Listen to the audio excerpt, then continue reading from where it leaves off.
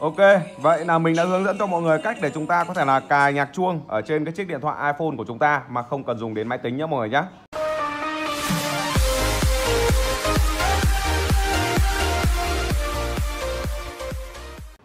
Xin chào mọi người nhé, chào mừng mọi người quay trở lại với cả video chia sẻ tiếp theo của mình. Đó thì hôm nay mình sẽ hướng dẫn cho mọi người là cách để chúng ta có thể là cài nhạc chuông ở trên cái chiếc điện thoại iPhone mà không cần máy tính nhé mọi người nhé. Thì đầu tiên thì các bạn cần phải có một cái bản nhạc ờ, để chúng ta có thể là lấy âm thanh ờ, Cái bản nhạc này thì các bạn có thể là tải ở trên YouTube hoặc là TikTok về cái điện thoại của các bạn nhé mọi người nhé. Ở đây thì mình sẽ vào TikTok nhé mọi người nhé.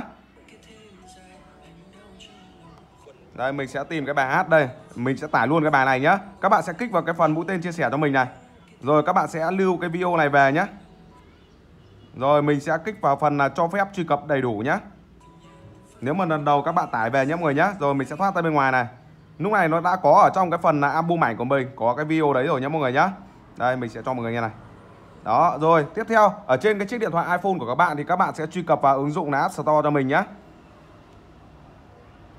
ở trên cái thanh công cụ tìm kiếm thì các bạn sẽ tìm kiếm cho mình hai cái ứng dụng là Ringtone Marker và GarageBand nhé mọi người nhé.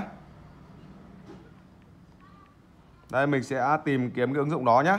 Đây các bạn đẩy cho mình hai cái ứng dụng này nó sẽ nằm ở liền nhau. À, các bạn tải về cho mình nhé. Ở đây thì mình đã tải sẵn về cái điện thoại của mình rồi để tránh mất thời gian của các bạn. Rồi ok mình sẽ thoát ra bên ngoài nhé. Lúc này mình sẽ truy cập vào ứng dụng là Ringtone Marker nhé mọi người nhé. Đây mình sẽ truy cập vào này.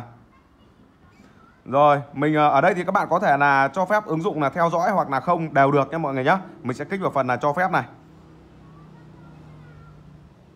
Rồi lúc này nó sẽ có quảng cáo thì các bạn ờ, có thể là kích bỏ qua quảng cáo cho mình nhé. Rồi mình sẽ ấn vào phần là cho phép gửi thông báo nhé.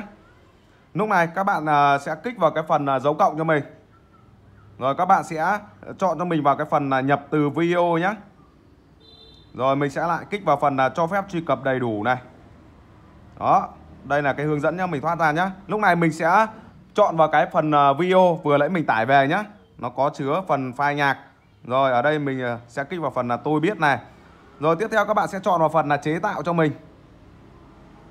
Rồi các bạn sẽ vuốt sang cái ứng dụng nhá. À, các bạn sẽ chọn vào cái ứng dụng là GarageBand này cho mình nhé rồi mình sẽ quay ngang cái điện thoại ra nhá. Cái điện thoại của mình nó quay ngang để chúng ta có thể là sử dụng dễ hơn này. Mình sẽ kích vào cái phần là tiếp tục nhá cho phép này. Mình ấn vào tiếp tục này. Mình ấn vào tiếp tục tiếp nhé rồi mình ấn vào cho phép này. Lúc này ờ, khi mà mình vào cái trang chủ của cái ứng dụng là GarageBand này rồi, thì mình sẽ kích vào cái phần là bài hát của tôi nhé mình quay lại nhé đó, thì cái bài hát vừa nãy mình đã thêm đây là 10 giờ 54 hôm nay đây. Đó, mình sẽ, các bạn có thể là đổi được tên cái bài hát này nhé mình sẽ kích liệt vào để mình đổi tên này. Rồi, mình sẽ ấn vào đổi tên này. Mình sẽ chọn là đổi tên thành nhà nhạc chuông hay chẳng hạn này. Ok sau khi đặt tên xong rồi mình sẽ kích vào phần là xong nhá. Đó nó sẽ có cái phần nhạc chuông hay ở đây. Lúc này nếu mà các bạn muốn làm nhạc chuông của chiếc điện thoại của chúng ta Các bạn ấn liệt vào cho mình nhé Rồi mình sẽ kéo xuống này. À, Các bạn sẽ chọn cho mình vào cái phần là chia sẻ nhé Rồi lúc này các bạn sẽ chọn vào cái phần là nhạc chuông cho mình. Rồi mình sẽ ấn vào phần là tiếp tục này.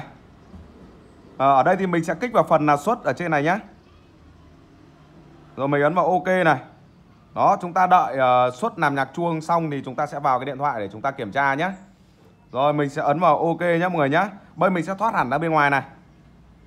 Đây mình sẽ vào lại cái phần uh, cài đặt của điện thoại xem đã có bài hát đó làm nhạc chuông chưa nhé Rồi mình sẽ vào phần cài đặt này. Mình sẽ vào lại cái phần âm thanh và cảm ứng nhé Đó mình vào phần uh, nhạc chuông này. Đó thì nó đã có cái phần là nhạc chuông hay ở đây. Cái bài hát của mình vừa tạo nhá. Mình sẽ kích vào thử này. Ok ạ.